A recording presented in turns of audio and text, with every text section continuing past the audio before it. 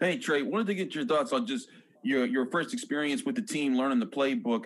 Um, how much discussions have you had about your role in the defense already? I know that they have they they, they could use you probably in your in, either as a safety or a corner with the team. Uh, just first and foremost, I'm just I'm just glad to be around the guys, glad to be in the facility, and, and happy to be back on the field. I mean, glad to be back playing football. It's been a while, so just being able to get out there on the field, just move around a little bit. Um, that was the first thing that I was excited about. And uh, for me, um, just a guy that can play any position on the back end, just wherever the coaches need me. Um, back there on that back end, whether it's corner, nickel, safety, um, uh, whatever they need me to do, uh, I'm all for it to help the team to help help the team uh, get to the ultimate goal to help the team to uh, be better. Noah Strackbein. Hey Tre, I don't know if you've talked to Cam Sutton yet or watched any of his videos, but he he's or his highlights, but he's pretty much what you're here to do now as a Swiss Army knife. Have you talked to him? Have you watched any of his film? What are your thoughts on him? Um, actually, uh, Cam and I we trained at the same spot um, out there in Tampa, so I, I kind of knew of him before I had got here, and uh, he he actually reached out to me um, after the draft as soon, as soon as it had ended. I mean, kind of extended his extended his arms um, as a as a big brother, as a guy that's been here. So definitely can't wait to uh, sit down and pick his brain and kind of just get get to know more about this defense, and so so I can know it, um, know the ins and outs, and I just continue to learn and get better. Brian Batko. Hey Tre, uh, I wanted to ask you about Najee Harris. You know, obviously you guys are all coming in as rookies, draft picks on the same you know level here, but with him being the first rounder, uh, is he taking on any sort of leadership role with you guys, or, or do you even kind of see some of those qualities in him uh, to this point?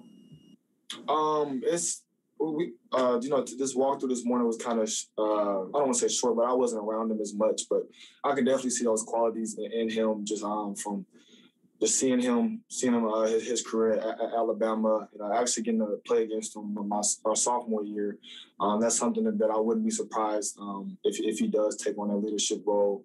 Um, I could definitely see those qualities in him. Tim Benz. Tre, all those uh, different positions that you are being asked potentially to perform with the Steelers, what did you play the most in college, and what are you the most familiar or uh, comfortable doing?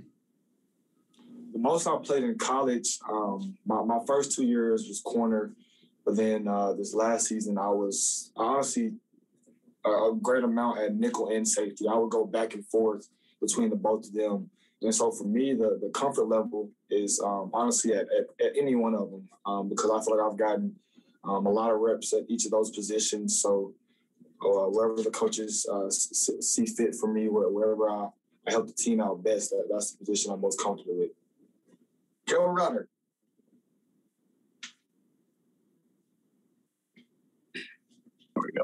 Hey, Tre. Uh, have, have they talked to you at all about focusing on just one position here, or do they want you to learn a little bit of everything? Um, as of right now, um, it's kind of learn a little, learn a little bit of, of, of everything. So, just moving forward, um, if that's if that's what my role would be, I'm glad glad to take on that role because that's something that I did in college as well, something that I'm familiar with.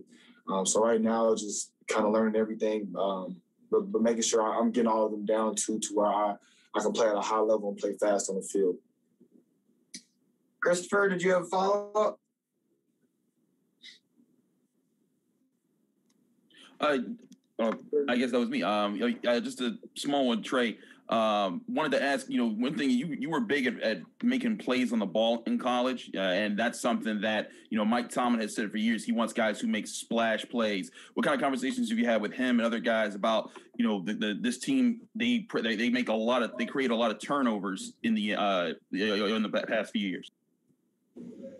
Um, for um, I haven't really had much talks about it yet, but as a player, that's something that I pride myself on, and that's something that um, was was a strong point for us with Coach Grinch um, back back in school. So I feel like that's something that I'm definitely carrying over. Um, turnovers is the turnover margin is honestly uh, a key part to winning the game. So being able to go out there and make those plays on the ball, whether it's interception, um, uh, forced fumble, any one of those types of things, uh, those are huge, and that's something that I see myself as a guy that, that can go out there and, uh, and be a playmaker when the ball's in the air.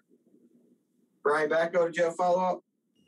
Yeah, just uh, Tre, I was going to ask you why number 21, and were you tempted at all to go with uh, one of those lower numbers, maybe even a single digit, now that the, the NFL is allowing that?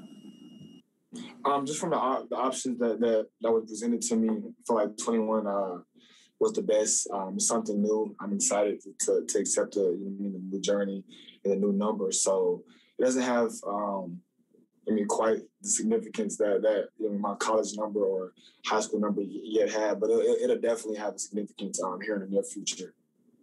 All right, and then Joe Rutter, do you have a follow-up? That would be the last one.